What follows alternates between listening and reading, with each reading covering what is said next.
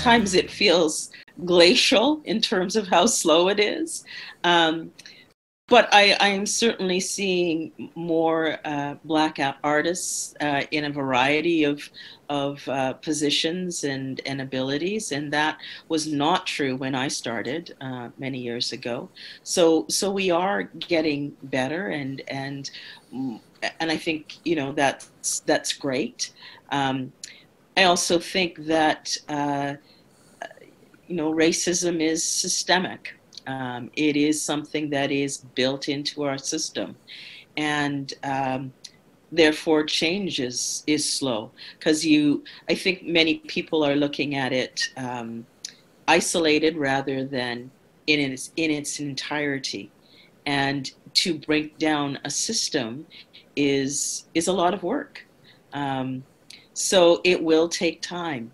Uh, and sometimes we leap forward. And it was my my great privilege to be the assistant director on uh, Color Purple, uh, and to have that amazing show on the Citadel stage.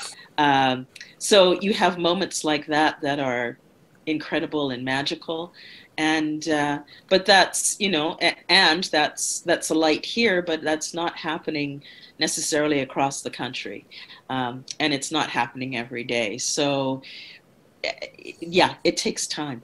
And I think that that theater can tell some of those stories just by by casting, because uh, when you walk into your your bank or your I don't know dry cleaner, and there is a black person uh, who is the teller or the bank manager or the person handing you your um, your dry cleaning.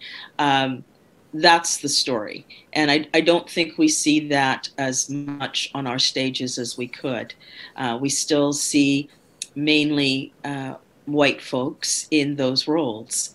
Um, and some of that is availability, but some of that is is uh, our directors not thinking that they can that they can cast an Asian or a black person as the girlfriend or the bank manager or the whatever, and and that is our reality, but it's not necessarily reflected on our stages, and and I think we could do that better. And then the other half of that is finding the story behind that black person or that Asian person.